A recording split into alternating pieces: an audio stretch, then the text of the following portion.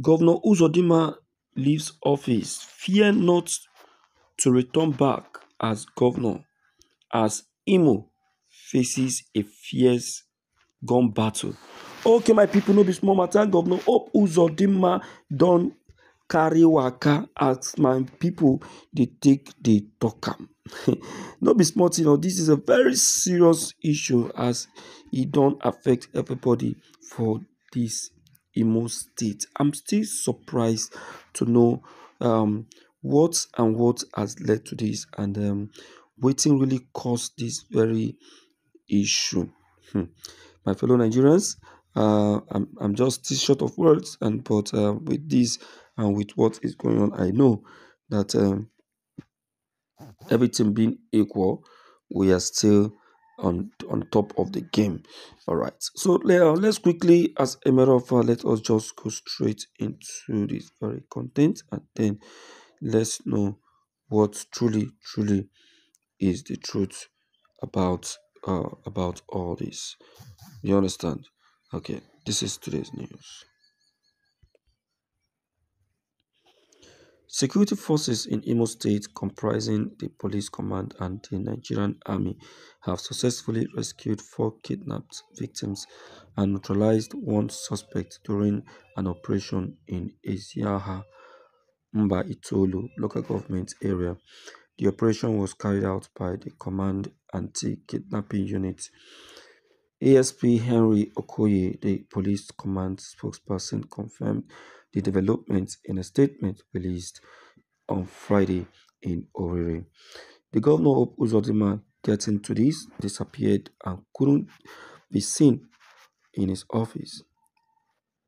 He said the joint security forces dismantled a kidnapping syndicate suspected to be members of the indigenous people of Biafra IPOB and it ambushed the Eastern Security Network ESN.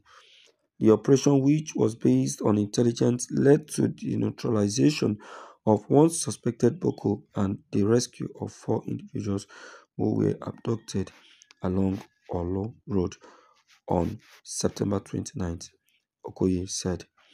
The rescued victims were identified as Eze Okoro of Orlu local government area, Mr. and Mrs. Anthony Nwosu, aged 44 and 31, both from Ohi in Owerri West local government area, and 56-year-old Bartholomew from Benue State. Uzodinma, with fear of not returning back in from in, as governor, has flee Imo State. Um, Nigerians, I don't blame Simon. I don't blame Uzodinma because this is what he is known for. This is what he is known for. And uh, if we talk now, they will say we don't talk. You understand? They'll say we don't talk. But uh, it's good all these things are happening so that everyone will be seeing it and know that uh, we are not just bluffing. Eh? Yes. So they will know that we are not just bluffing. Imagine your state is on fire. Instead of you to um, to face the fear and help your state, yeah, and help your state to be free from this crisis, you are doing what is not necessary. Eh? Is that how they do things? No. They don't do things that way. Governor Hope Uzodinma, um, you have lost it this time. You have actually lost it. And um, because you have lost it, that is the reason why the Igbo people we need to do the needful and get you changed.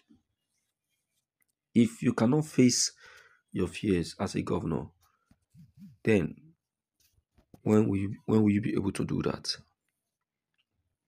Huh? When you be able to do that? That is one of those things. Um, my dear listeners, I congratulate you on this very matter.